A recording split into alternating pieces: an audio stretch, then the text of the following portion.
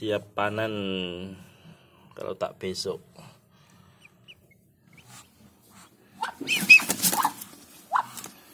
Ini juga pun sama.